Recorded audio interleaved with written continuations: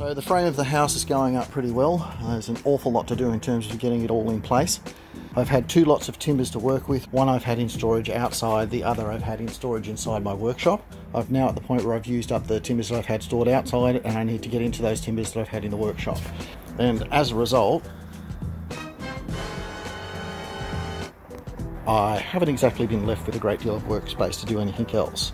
I'm still not going to be able to shift the plaster until I've got a roof on the other structure. But as soon as I get these timbers out of the way, I should be able to do another quick tidy up in the workshop and that'll give me some space back to do some other stuff.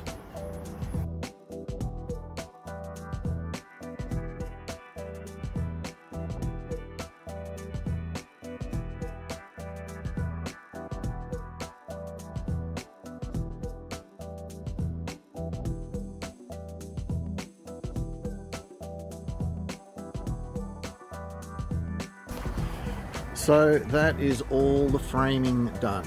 We've got all the internal walls put in place. Uh, there's a couple of extra noggins that have to be put in here and there, but for the most part, it's all pretty much ready to roll. And start working out the external cladding, the external lining.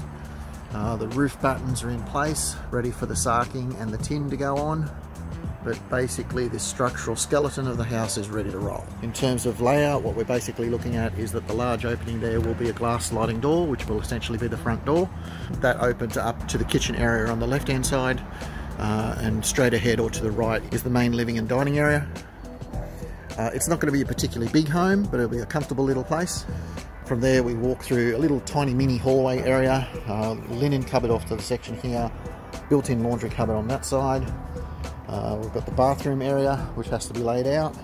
Uh, it'll be a walk-in wet room bathroom.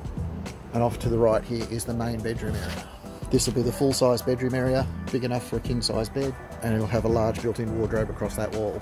Through the framing of that wall, you can see the second bedroom area, which is the smaller of the two bedrooms. Uh, this will essentially be set up as a home office space with a Murphy bed built in so that it can be used as a guest bedroom as needed. This little bedroom also leads out to the back door area and eventually this section will also be cleared up and used a bit differently than it currently is now. So I've been really busy trying to get all this organised and there's uh, still quite a lot to do but now I can start getting it weatherproofed and getting a roof on it and then we can skin the walls and start making it a watertight structure. I know it's been a long time between updates, but as you can see, I've had a lot on my plate and there's still quite a ways to go. The plan is to have this finished by the end of the year, so that they're all finished up and ready to move in just before Christmas. So as I said, there's still loads to do, but it is getting there. But anyway, that'll be the update for this time. Thanks for watching. Talk to you next time.